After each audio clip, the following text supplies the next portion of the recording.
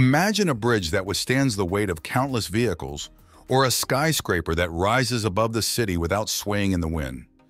These feats of engineering are possible thanks to our understanding of how forces act on objects. In this video, we will develop part of the theory of forces, starting by defining what a rigid body is. A rigid body is an idealized model of an object that does not change its shape or size when subjected to external forces. It's like a frozen snapshot of an object, which allows us to analyze its behavior under various load conditions. In the study of bodies, we differentiate between two types of forces, external and internal. External forces originate outside the rigid body and act upon it. They can cause changes in its motion or equilibrium, either through translation or rotation. Examples of external forces include gravity and friction. Internal forces, on the other hand, arise within the rigid body due to interactions between its particles.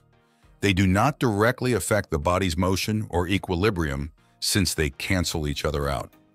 An example of an internal force is cohesion, which holds the particles of a solid together.